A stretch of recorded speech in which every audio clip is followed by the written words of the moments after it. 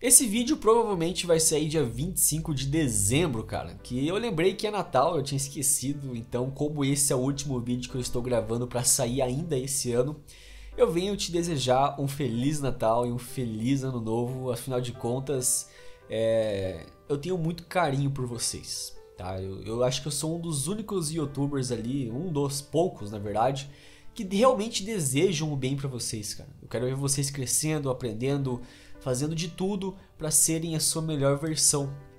Porque eu vejo que esse canal, ele não é nada sem vocês. Eu não cresço sem vocês, eu não continuo criando conteúdo sem vocês. Então, eu tô aqui para agradecer tudo que vocês fizeram esse ano, cara. Antes do ano acabar, conseguimos sair de 500 para 2.100 inscritos, cara. Então, é bastante gente. E muito obrigado por isso. E cada vez mais vai ter conteúdos melhores, mais completos, com mais frequência, até aumentar a frequência, né? Eu acho que isso é interessante.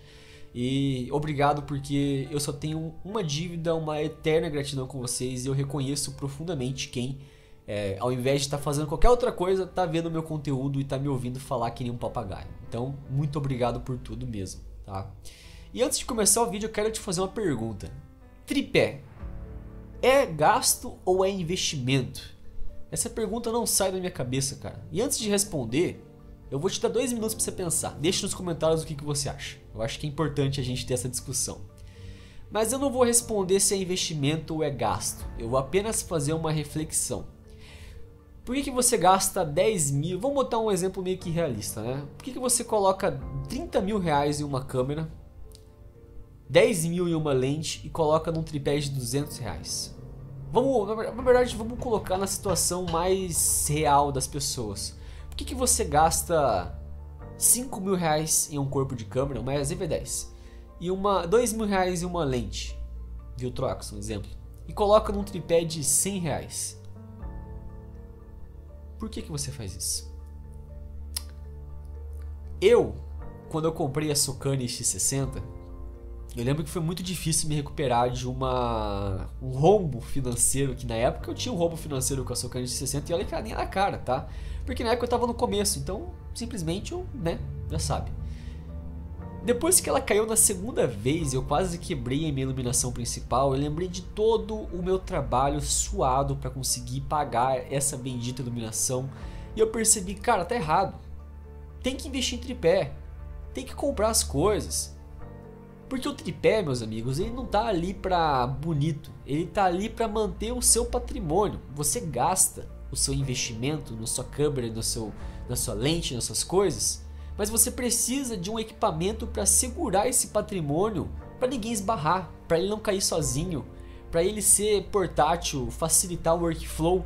E eu descobri depois que a KNF Concept me mandou os tripés, eu comprei esse tripé que vocês vão ver hoje, que tripé é investimento sim. Mas deixe nos comentários o que você acha dessa reflexão, se faz sentido para vocês. E também aproveita e curta e se inscreva no canal porque é muito importante isso, me motiva a cada vez mais trazer conteúdos para vocês. Claro, conteúdos de qualidade. E no vídeo de hoje nós vamos falar sobre dois tripés que eu gosto muito e mudaram ali o jeito como eu trabalho, principalmente com iluminação, tá? Claro que um deles é o principal que é o MT-49 e o secundário é o MT-44. Eu estou lançando esse vídeo no Natal porque esse vídeo era para sair depois de janeiro, tá? É, mas eu estou ouvindo boatos de que o remessa conforme vai começar a taxar. Não, boatos não, confirmação praticamente. Que o remessa conforme vai taxar compras abaixo de 50 dólares. E como esses dois tripés são muito bons, eu quero que vocês tenham a oportunidade de conseguirem comprar com ele com preço justo. Afinal de contas, nós somos brasileiros e eu também quero ter condições de comprar as coisas boas por um preço barato e justo, principalmente, né? Então, é, saiba que esses dois tripés, eles são dois equipamentos que eu indico bastante. Vamos começar pelo MT-49, que eu acho que é o principal.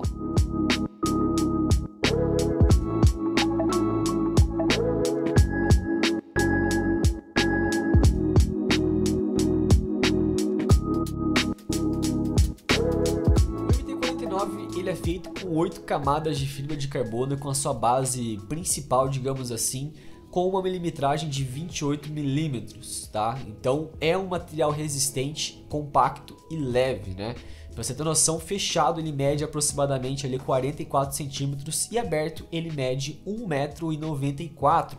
Pesando apenas 790 gramas, cara. Isso é muito interessante. E claro, ele aguenta ali 1,5 kg gramas. Só que, sendo bem sincero, as fabricantes elas sempre colocam uma jogada a mais no quanto de peso aquele equipamento aguenta. Então, se ela fala que ele aguenta 1,5 kg, provavelmente ele aguenta uns 2 kg, 2,5 kg, tá? Mas uma dica, nunca coloque mais ou fica testando essas coisas, porque senão você vai perder o seu equipamento. Eu nunca recomendo, na verdade, né?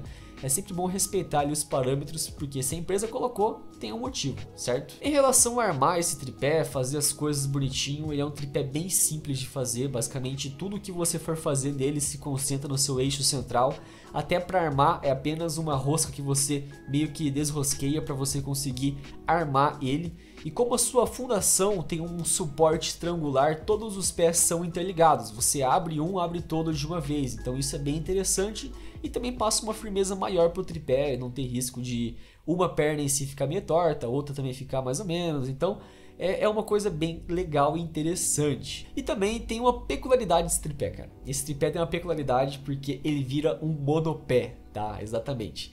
Mas, sendo bem sincero, eu achei esse monopé inútil porque simplesmente a base dele é uma base de plástico que vai arrebentar com a sua coluna central do seu tripé. Então eu não usaria ele como monopé. Se você não sabe o que é monopé, é basicamente um tripé de uma perna só para você ter mais mobilidade de fazer takes que exijam essa mobilidade que ele oferece, tá? Então basicamente é isso. Agora, focando em um tripé diferente, nós vamos para a parte do MT-44, que é basicamente um pau de selfie que vira um tripé.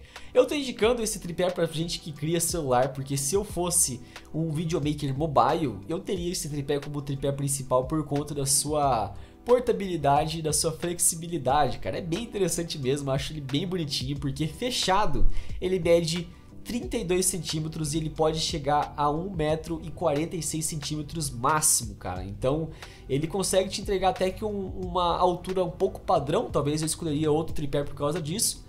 Mas é um tripézinho bem flexível, a sua cabeça ali tem uma a cabeça esférica, então você consegue extrair diferentes ângulos e também ela apresenta um sistema, um suporte de celular que é basta você dar uma desregulada ali, levantar a perninha e encaixar o teu celular. Então isso é bem interessante porque poupa equipamento, digamos assim, para você levar, tipo suporte de celular, que é também a Lance também vende, mas esse tripé é bem legal por causa disso. A fabricante fala que ele também aguenta basicamente 1,5 kg, mas eu acho que isso é mentira. Pode ser que ele aguenta quando ele estiver fechado, mas ele aberto em 1,46m, você coloca uma câmera, uma lente, ele vai descendo, cara. Então, tipo assim, ele não aguenta aberto, ele não aguenta 1,5 kg, tá? Pra você ter noção, a minha câmera estava pesando 934 gramas, então não faz sentido a empresa colocar que esse tripé, o MT-44, aguenta 1,5 kg, sendo que baixa, né? Esse foi um dos motivos por eu pensar que o MT-49 aguenta mais também que um quilo e meio. Porque ele, cara, ele nem enverga, velho. Ele nem enverga. Isso é bem interessante. E a respeito de qualidade desses dois tripés, é, não tenho o que descrever. Realmente, o que mais me chamou a atenção de, a respeito de qualidade foi o MT-49. Claro que ele tem um preço mais elevado, ele tem um preço ali de 240 até 270, mas em promoções ele sempre tá 252, 270. Só que você consegue pegar e na maioria das vezes com é, abaixo de 50 dólares por causa de cupons, cupons que o próprio AliExpress entrega. Então ele fica ali abaixo de 250 e você consegue pagar apenas o imposto que vai dar 293, melhor do que pagar 500 e poucos reais se ele passasse da cota, certo? Isso é muito importante. E a respeito de qualidade do MT-44 também é bem bonitinho, bem acabado.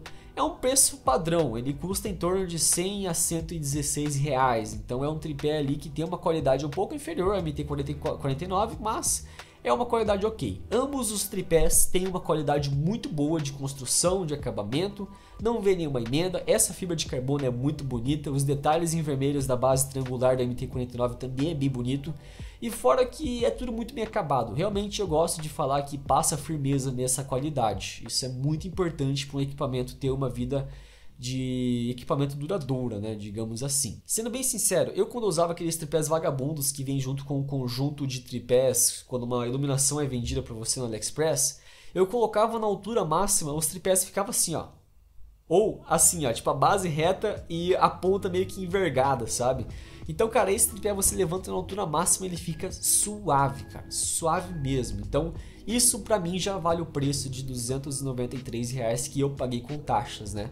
Não sei vocês, mas para mim, tripé começou a ser visto como um investimento muito grande, né? Então é isso aí. Bom, é isso. Espero que nem eu disse, o último vídeo do ano, então curta esse ano com metas, os 5 dias que faltam, 6 dias pro ano para acabar. Façam alguma coisa, comecem o 2024 agora. Espero que vocês estejam bem, realizando seus objetivos, afinal de contas isso que mais importa e nos vemos no próximo vídeo.